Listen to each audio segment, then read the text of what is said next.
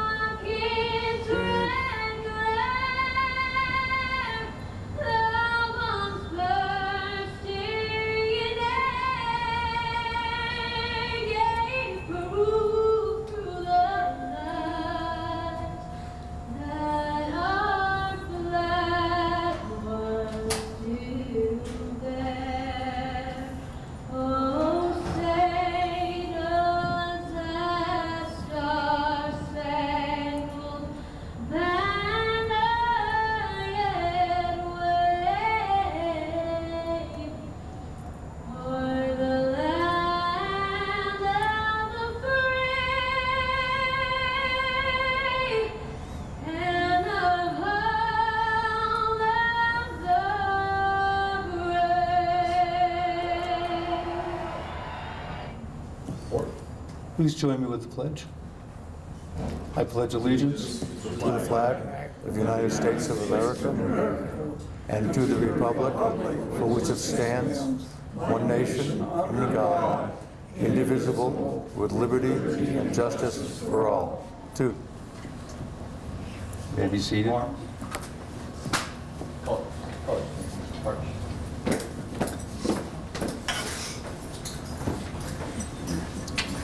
Want to offer personal thanks for the Kirtland Color Guard.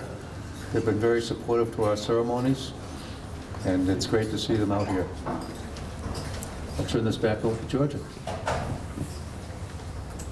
Again, I want to welcome you.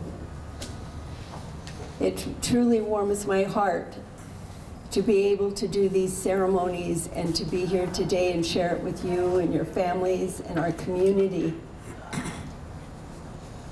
And the reason we're able to do that is because the incredible support we have. And I want you to know our mayor has uh, chosen to honor our veterans since he came into this administration.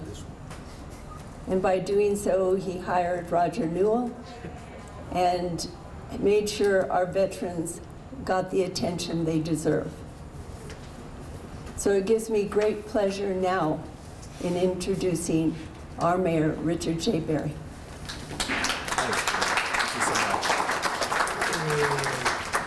Let me get button this up here, sorry about that. Well, good morning. Good morning. Everybody's looking sharp. It's a Great day in Albuquerque, beautiful sunshiny day. So I'm so honored to be here. Uh, Juliana, thank you so much uh, for all that you do and everybody here at the center. So I would like to start off by giving them a round of applause. They do such wonderful work. Georgia, thank you so much. You have a passionate leader at the Department of Senior Affairs. Uh, she is consistently working with me as the mayor to make sure that Albuquerque is a great place to be a senior. But today is about you. Today is about our veterans. And we're here for a number of reasons. We're here to celebrate you, and we're here to celebrate your service. And I'm so pleased that you brought your families with you today.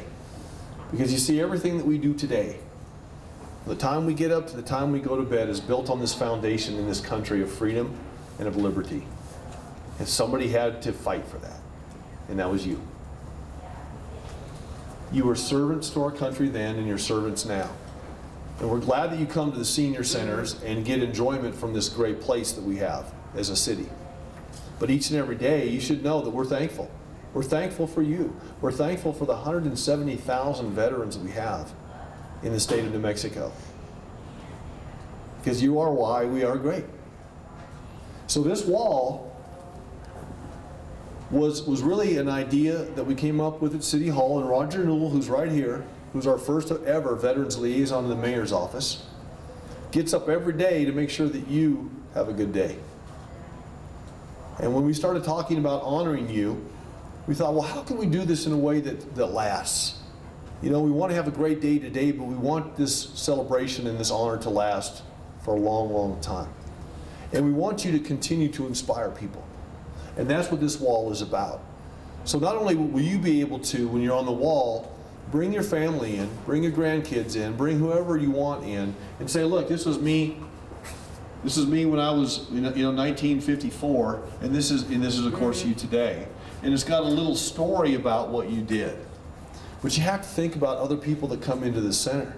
Think about the child, the kid that's going to come in here over the years. Because your picture is going to be up here for a long, long time. Think about the person that comes in here that's maybe having a tough day.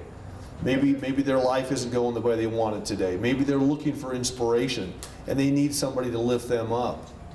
Well, you're going to be there for them. They don't know you, but they're going to get a chance to see your picture, read your story, and better understand what service to your country looks like.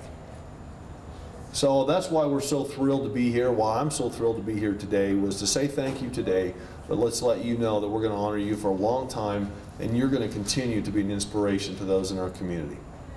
And uh, you deserve it. You deserve it. You did a great job for us, for our nation, and uh, as your mayor, I appreciate it. So thank you for letting me be here today to help you celebrate. Thank you.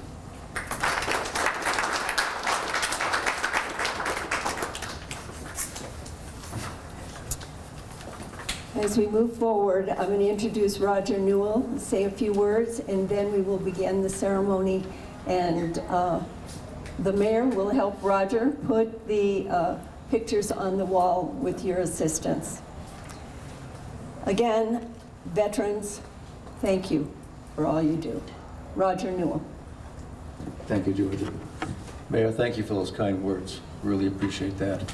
And really, he's, Mayor has summed up everything that this wall is, so I can't really say a whole lot, other than the fact that being a veteran, um, being a combat wounded veteran, being able to stand in front of each of you and give you the opportunity to be recognized for your service for those people that come later.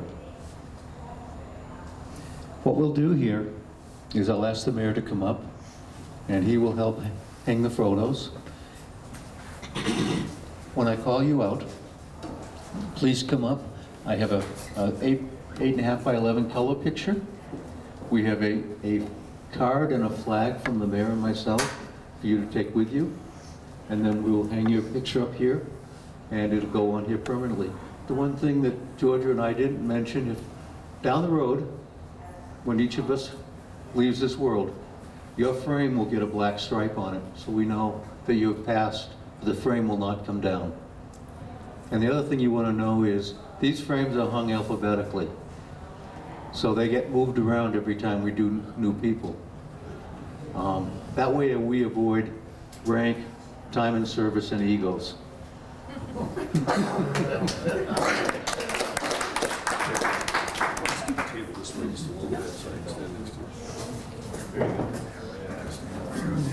Okay. Is Larry Anaya here? No Larry? I'm sorry. He's the first one down there. Uh, He's gonna go right here. Okay, gotcha. This is Larry here. And Larry is from the U.S. Army. He was in Vietnam, uh, 1965 to 1967.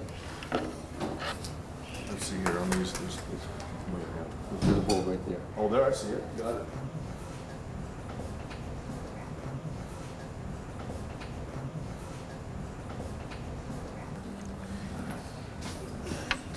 Our next veteran, Francis Castillo.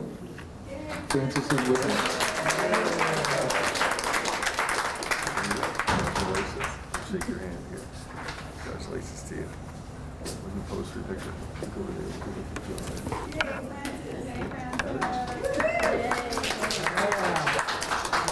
Army? She's U.S. Army. Army. She was part of the Cold War, 1979 to 1981. Here? Yep. Thank you, your service. Bob Faulkner.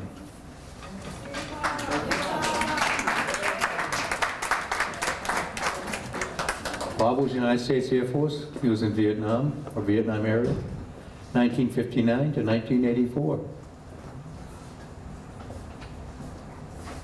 A long time. Okay. Yeah. We have, we can do that.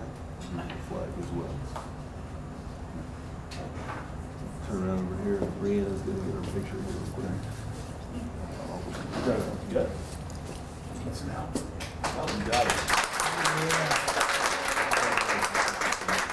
Thank you, sir.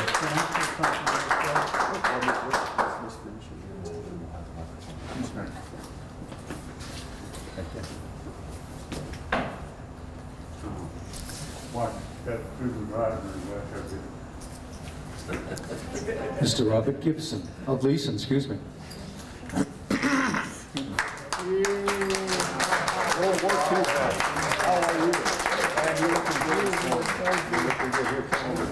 Robert was in the Marine Corps. Here's a flag. I don't know if you recognize the hat. He's post-World War II, 1946 to 1948.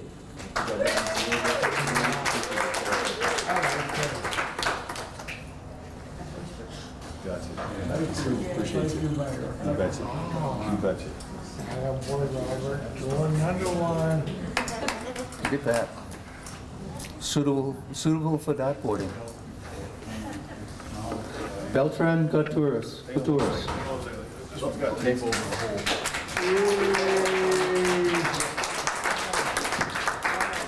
Technical difficulty. We taped over the hole. Oh, here comes the weapon. There you go. I trust it. Okay. Well, they need a tall fella to put him way up there. Well, that's the other. All righty. Wow, look at that, look at that picture. Beltran was part of the Navy. He was part of Vietnam, 1961 to 1966.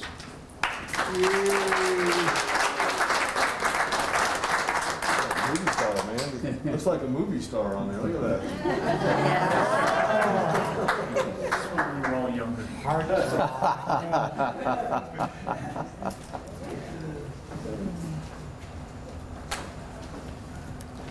Michael Hendrickson. Michael here today? No? Okay. Michael was part of the Air Force also. He was part of the Cold War, 1974 to 1994, retired.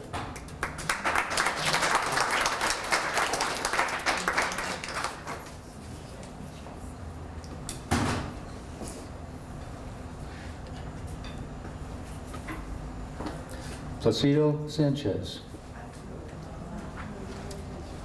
Placido is not here also, but he was part of the Navy.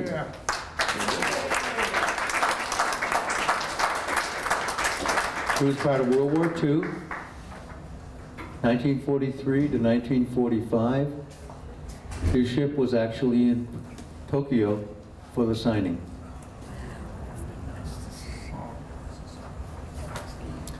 Last but not least, Tim Starkey.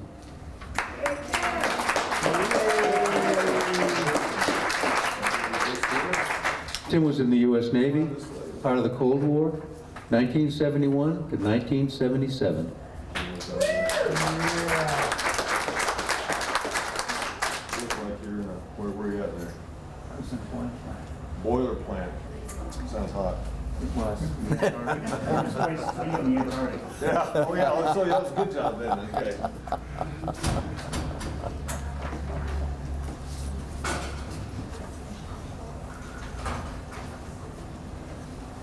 Thank you, sir. You got it. Appreciate that. Bob was talking about things. Can you, I'm gonna come to it now or later. I'll do it afterwards. Okay, gotcha.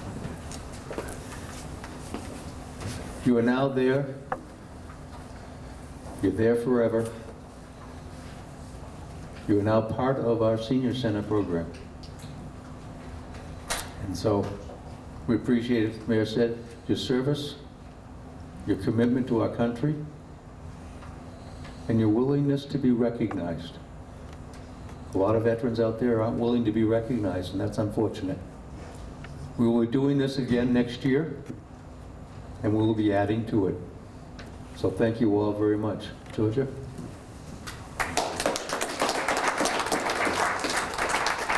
Thank you, Roger. Something you may not know about Roger is he's a Purple Heart veteran. Let's give him a hand.